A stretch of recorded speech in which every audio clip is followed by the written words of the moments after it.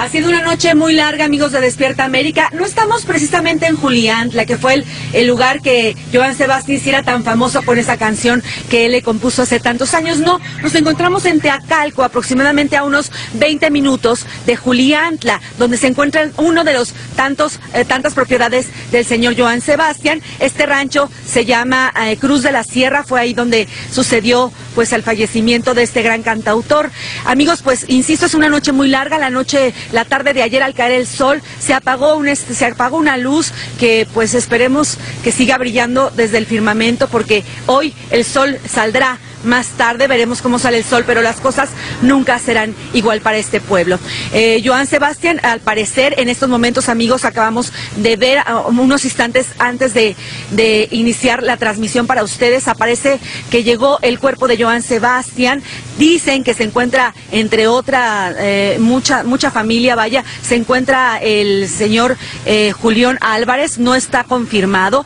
Y lo que les podemos decir es que desde la noche de ayer, cuando se dio a conocer la triste noticia, nos eh, dimos a la tarea los medios de reunirnos a las afueras de este rancho. Estamos aproximadamente unos 50 medios reunidos. Eh, hace aproximadamente unas dos horas, la familia representada por José Manuel Figueroa, el hijo de Joan Sebastián, y también eh, por eh, Julia, Figueroa, también Federico Figueroa, dieron unas palabras. Pero antes de eso, tenemos que recordar lo que en un comunicado oficial la familia de Joan Sebastián manejó. Y esto, y es lo que decía eh, literalmente, es que no había muerto pues solamente un cantautor, había muerto un hombre que era un poeta del pueblo y que estaban lamentando con profundo dolor anunciando la pérdida. También debemos comentar los últimos twitters de eh, José Manuel Figueroa y son los siguientes. El primero fue, mi papá no murió de cáncer, murió de los golpes que le dio la vida en el corazón.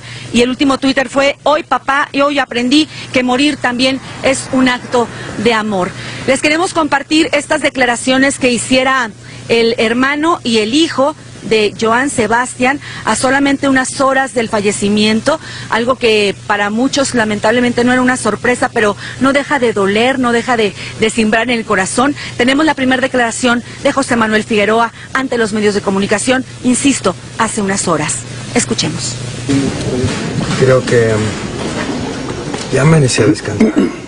Fue una persona que luchó durante muchos años, estaba cansado y quiero aclarar y quiero subrayar que no lo mató el cáncer, lo mató los golpes que recibió de, la vida en el corazón.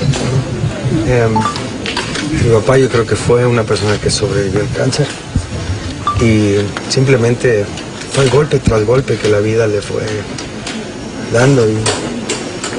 Pero tampoco no me puedo quejar por eso, porque al final de cuentas creo que desgraciadamente o irónicamente esos golpes dieron unas canciones bellas. Dieron eh, grandes nos dibujaron grandes paisajes de lo, lo que él sentía, de lo que él amaba, de su forma de componer, de cómo escribía su música, de lo, de lo que él lograba en sus composiciones. Entonces, hoy nace la inmortalidad de John Sebastián. Y bueno, gracias, yo estoy aquí para presenciarla. ¿Cuál fue el último consejo que te dio José Manuel? ¿Vale? El último consejo que te dio. Échale ganas. Ama a tu familia. Únanse como familia. Creo que ese fue el consejo que nos dio a todos. Yo creo.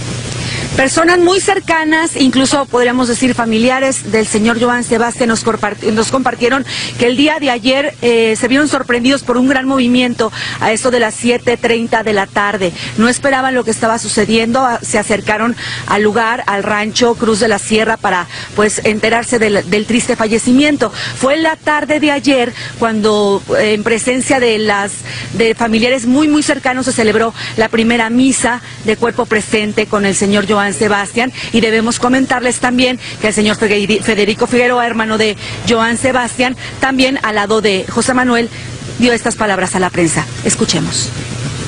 A nombre, de José Manuel, de mis sobrinos, de todos los hijos de los hermanos de José Manuel Figueroa, de Joan Sebastián, conocido por ustedes, agradecerles que estén preocupados por los acontecimientos que sucedieron el día de hoy agradecerles que estén aquí al pie del cañón para llevar la nota a la gente que quiere, que quiso y que va a seguir queriendo, ya sabes. Mucha gente se pregunta por qué no sucedió esto en Juliantla, por qué eligió Joan Sebastián este lugar para Cruz de la Sierra para vivir sus últimos momentos. Bueno, pues comentaba gente muy cercana a él que era precisamente la intimidad, la tranquilidad, la ausencia de cualquier acoso por parte de algún medio lo que buscaba el señor Joan Sebastián. Y se dice que estaba en efecto presentes sus hijos mayores, Julián y José Manuel Figueroa, al momento del deceso.